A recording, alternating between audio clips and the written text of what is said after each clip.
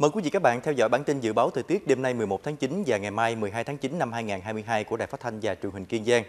Thưa quý vị và các bạn, khu vực Kiên Giang 24 giờ tới chịu ảnh hưởng chính bởi trường gió Tây Nam hoạt động với cường độ yếu.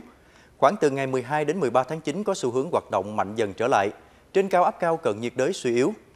Sau đây sẽ là dự báo thời tiết cụ thể cho từng khu vực của tỉnh Kiên Giang. Dự báo thời tiết tại khu vực thành phố Đạch Giá mây thay đổi đến nhiều mây, trưa chiều có mưa rào nhẹ, ngày nắng gián đoạn, gió Tây Tây Nam cấp 3, nhiệt độ nằm trong khoảng từ 26 cho đến 32 độ. Thời tiết tại khu vực thành phố Hà Tiên mây thay đổi đến nhiều mây, chiều tối có mưa rào và dông, ngày nắng gián đoạn, gió Tây Nam ở mức cấp 3, nhiệt độ nằm trong khoảng từ 26 cho đến 31 độ.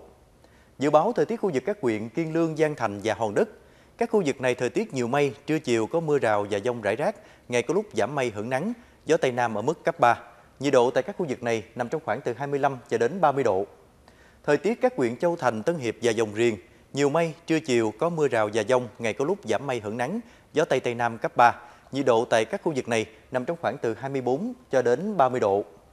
Dự báo thời tiết khu vực các huyện Gò Quao, An Biên, An Minh, Vĩnh Thuận và U Minh Thượng.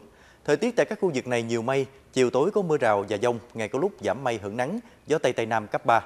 Nhiệt độ nằm trong khoảng từ 24 cho đến 29 độ.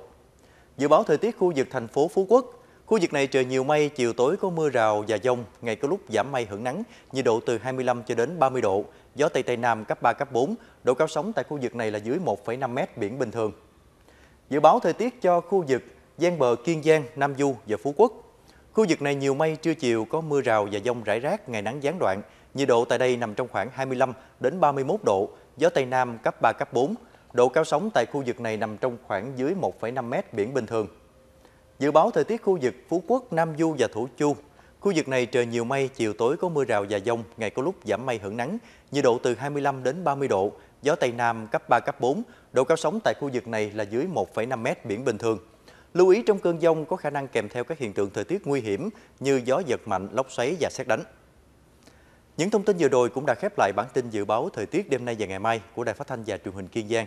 Cảm ơn quý vị và các bạn đã quan tâm theo dõi. Xin kính chào tạm biệt.